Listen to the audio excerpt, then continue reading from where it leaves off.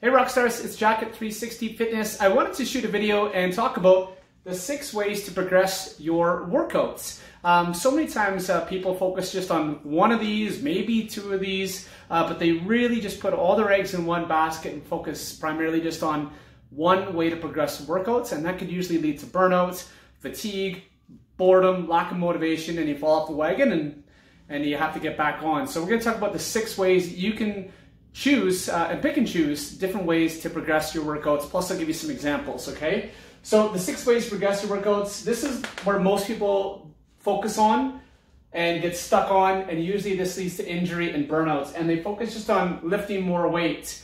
If they hit 80 pounds, they just focus on 90 and 100 and 110 and everything else. There's a lot of diminishing returns for that. You need to incorporate other ways to progress. But the first and foremost one is lifting weights, but it can only bring you so far. The second one is obviously do more repetitions. If you're shooting for a six rep range, focus on eight to 10 to 12 and so on and so forth. When that gets too easy, then go to a higher weight at that lower rep range. Number three, and something that I use in my workouts, and I found that this is the most bang for the buck for me, and I've seen a lot of people have this success as well, is increase your sets. So we always kind of get stuck in that three to four set range uh, for pretty much everything. Where I've seen really best returns on like four, five, even six sets per exercise and just a lot less exercises.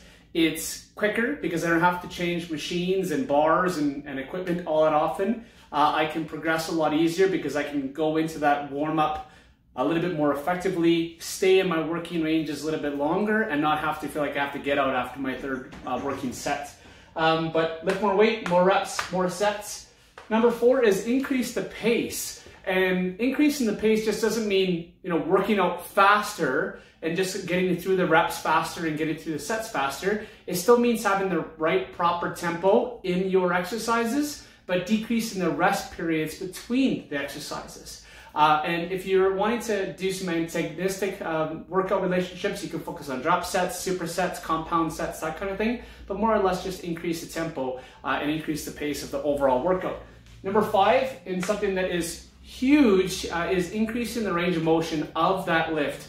Squatting deeper, having better form on your on your deadlift, having a, a deeper bench press, uh, better shoulder mobility on your overhead shoulder press, whatever it is, having better range of motion and more confidence at all phases of range of motion is a huge way to progress your workouts. And number three, or no, sorry, number six, uh, very simply increase your frequency. So if you're working out twice a week, moving up to three. If you're working out three times a week, moving up to four, five, that kind of thing. Don't work out too much more than five or six days a week if you don't have a proper um, recovery plan in place. Kind of law of diminishing returns when you're not starting fresh. So those are the six ways you can progress your workouts. Number one, lift more weight, but don't get stuck there. More reps, more sets. Increase your pace and your tempo. Increase the range of motion and your confidence in all phases. And increase your frequency. That's it, guys. Uh, how about it? Pick and choose these next ones in your workout program design or talk to your coach about it. Or if you're doing things on your own, incorporate these guys in and you'll see phenomenal progress. Bye-bye.